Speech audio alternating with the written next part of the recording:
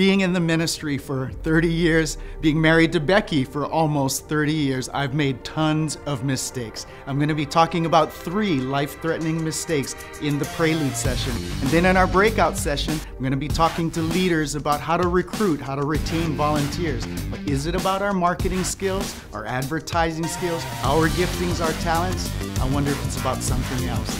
Come and find out.